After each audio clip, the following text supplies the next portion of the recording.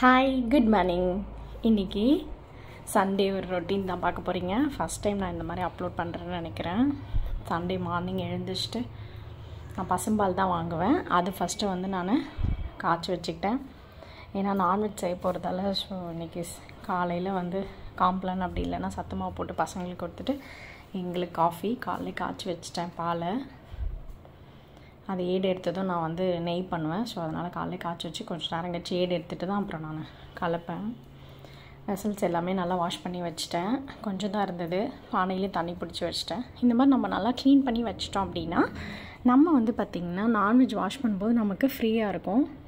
வேலை செய்யும்போதும் ஈஸியாக இருக்கும். காலையிலே வந்து நம்ம சிங்க்கு ஃபுல்லாக பாத்திரம்லாம் வச்சுருந்தா நமக்கு வேலை செய்யவும் கஷ்டமாக இருக்கும். இது வந்து பார்த்திங்கன்னா நாட்டுக்கோழி தான் நான் எடுத்திருந்தேன். நாட்டுக்கோழி வந்து நீங்கள் கால் வச்சு கண்டுபிடிச்சிடலாம். பிராய்லர் கோழினா லெக் பீஸ் வந்து நல்லா பெருசாக இருக்கும். ப்ரான் எடுத்திருக்கேன். ப்ரான் வந்து ஈவினிங் போல் தான் நான் குழம்பு வைக்க போகிறேன் காலையில் வந்து நாட்டுக்கோழி பண்ணி இட்லி போடலான் இருக்கேன். எல்லாமே எடுத்து வச்சிட்டேன். அதுக்கப்புறம் வந்து பார்த்திங்கன்னா நான் வந்து அமேசானில் வந்து ஒரு பார்சல் வந்தது. இந்த வீடியோ கூட நான் அப்லோட் பண்ணியிருக்கேன். ஷார்ட்ஸில் செக் பண்ணி பாருங்கள் நான் ஒரு ஷாப்பிங் போர்டும் நைஃபும் வாங்கினேன். ஷாப்பிங் போர்ட் கொஞ்சம் காஸ்ட்லி தான். ஃபைவ் செவன்ட்டி நைன் ஏதோ சம்திங்கு ஓகே இந்த கலருக்காக நான் வந்து இதை இந்த ஓவல் ஷேப் இந்த கலருக்காக நான் வந்து இதை வாங்கியிருந்தேன். இந்த நைஃப் செட் வந்து பார்த்திங்கன்னா மூணு பீஸ் இருந்தது மொத்தம் ஒரு பாக்ஸில் ஃப்ரூட்ஸு வெஜ்ஜு நான்வெஜ் அந்த மாதிரி நம்ம பிரித்து வச்சு கட் பண்ணிக்கலாம். இல்லை ஒரே நைஃப்லேயே நம்ம எல்லாத்தையும் கட் பண்ணதுனாலும் கட் பண்ணிக்கலாம்.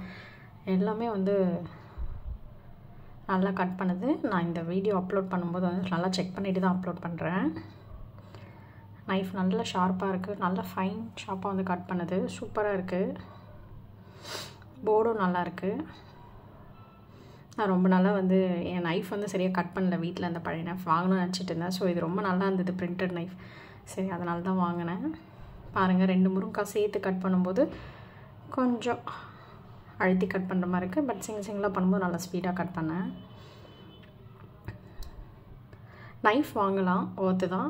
ஷாப்பிங் போர்டு வந்து எனக்கு பிடிச்சதால நான் வாங்கினேன். பட் ஓத்தான்னு கேட்டால் கிடையாது. அவ்வளோ காஸ்ட்டுக்கு கிடையாது. அடுத்து வந்து சிக்கன் கிரேவி செய்ய போகிறேன் கடாயில் நல்லா எண்ணெய் ஊற்றிட்டு பட்டை லவங்கம் ஏலக்காய் மூணுமே தாளிச்சிட்டேன். பச்சை மிளகா ஒரு நாலு பச்சை மிளகா போட்டுக்கிட்டேன். ஒரு ரெண்டு பெரிய வெங்காயம் சேர்த்துக்கிட்டேன். அடுத்து ஒரு கொத்து கருவேப்பிலை. இஞ்சி போட்டு பேஸ்ட்டு வந்து பார்த்திங்கன்னா நான் கொஞ்சமாக இந்த கிரேவிக்கு மட்டும்தான் ஆட் பண்ணுறேன் நான் வந்து ப்ரான் வந்து குழம்பு தான் வைக்க போகிறேன் ஸோ அதனால் வந்து இதுக்கு மட்டும்ன்றதால நான் கல்லிலே அரைச்சிக்கிட்டேன். நல்லா நைஃப்பில் கத்தியில் வந்து நல்லா சாப் பண்ணி அரைஞ்சிட்டு அதில் வந்து பார்த்திங்கன்னா அப்படியே ஸ்மாஷ் பண்ணிக்கிட்டேன். கொஞ்சம் குறை குறைன்னு பேஸ்ட் மாதிரி அரைச்சிக்கிட்டேன். வாயில் மாட்டும் போது கொஞ்சம் நல்லாயிருக்கும் இஞ்சியோட ஃப்ளேவரு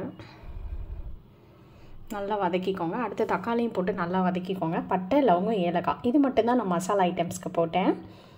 வெங்காயம் தக்காளி பச்சை மிளகா தக்காளி வந்து பார்த்திங்கன்னா ரெண்டு சின்ன தக்காளி எடுத்தேன். வெங்காயம் நல்லா ரெண்டு பெரிய வெங்காயம் எடுத்தேன். அடுத்து வந்து பார்த்திங்கன்னா நல்லா வெந்நீர் போட்டு வாஷ் பண்ணி உப்பு போட்டு கல் உப்பு போட்டு வெந்நீர் போட்டு வாஷ் பண்ணி எடுத்து வச்சுருந்தேன் ஒன் கேஜ் நாட்டுக்கோழி வந்து இதில் நான் போட்டுக்கிட்டேன். மஞ்சத்தூள் ஒரு ஸ்பூன் போட்டுக்கிட்டேன். வெறும் மிளகாய்த்தூள் ரெண்டு ஸ்பூன் போட்டுக்கிட்டேன். தனியாத்தூள் வந்து பார்த்திங்கன்னா ஒரு ஸ்பூன் போட்டுக்கிட்டேன். கரம் மசாலா நான் வீட்டிலே அரைப்பேன் அதுவும் போட்டுக்கிட்டேன். இது வந்து பார்த்திங்கன்னா குழம்பு மிளகாய்த்தூள் இது வந்து பார்த்திங்கன்னா ஆலின் மசாலான்னு சொல்லிட்டு நான் வச்சுருப்பேன். இந்த வீடியோவும் நான் உங்களுக்கு ஃபஸ்ட் கமெண்ட்டில் லிங்க் கொடுக்குறேன். செக் பண்ணி பாருங்கள் ஷாப்பிங் போர்ட் நைஃப் எல்லாத்தோட லிங்க்கும் நான் ஃபஸ்ட் கமெண்ட்டில் டிஸ்கிரிப்ஷன் கொடுக்குறேன். செக் பண்ணி பாருங்கள் இந்த குழம்பு மிளகாய்த்தூள் போடும்போது நல்லாயிருக்கும் டேஸ்ட்டும் வந்து பார்த்திங்கன்னா நல்லாயிருக்கும் வெறும் நம்ம மிளகாய்த்தூள் தனியாத்தூள் போடும்போது அது ஒரு மாதிரி ஹோட்டலில் வாங்குற மாதிரி இருக்கும். குழம்பு மிளகாய்த்தூள் போட்டால் தான் நம்ம வீட்டில் செய்கிற மாதிரி இருக்கும். தட்டு போட்டு மூடி வச்சிட்டேன். கொஞ்சமாக தண்ணி ஊற்றி தட்டு போட்டு மூடிட்டேன். இது வந்து பார்த்திங்கன்னா கொப்பரை தேங்காய். இந்த மாதிரி கொப்பரை தேங்காய் போட்டு எந்த கிரேவி நம்ம அரைச்சி போட்டாலும் டேஸ்ட்டே வந்து பார்த்திங்கன்னா ஒரு தேங்காய் எண்ணெய் ஃப்ளேவரோட சூப்பராக இருக்கும். வெறும் தேங்காய் எண்ணெய் சேர்த்தா சில பேருக்கு பிடிக்காது. இந்த மாதிரி கொப்பரை தேங்காய் போட்டு செஞ்சு பாருங்கள் எண்ணெய் வந்து நல்லா பிரிஞ்சு வரும் கிரேவியில் டேஸ்ட்டும் வந்து பார்த்திங்கன்னா சூப்பராக இருக்கும்.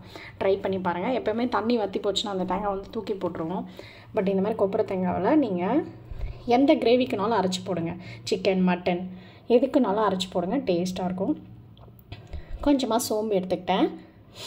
நான் மிளகுத்தூள் இல்லை அதனால் வந்து இதிலே கொஞ்சம் மிளகு போட்டு அரைச்சிக்கிறேன்.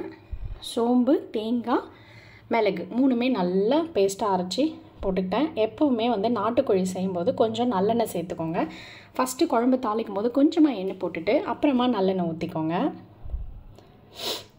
இட்லி மாவு தான். நானும் சாஃப்ட் இட்லி தோசை பெட்டர் எப்படி அரைக்கிறதுன்னு போட்டிருக்கேன். செக் பண்ணி பாருங்கள் எப்போவுமே நாட்டுக்கோழி எடுத்து குழம்பு வச்சோம் அப்படின்னா இட்லி போட்டு காலைல சாப்பிட்டு பாருங்கள் டேஸ்ட் ரொம்ப சூப்பராக இருக்கும்.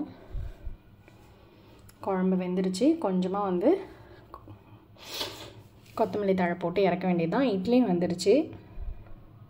இதுவே நம்ம ரைஸ்க்கும் சாப்பிட்லாம். இட்லி தோசை சப்பாத்தி எல்லாத்தோட பரோட்டா எல்லாத்தோடையும் நம்ம இந்த குழம்பு சாப்பிட்லாம்.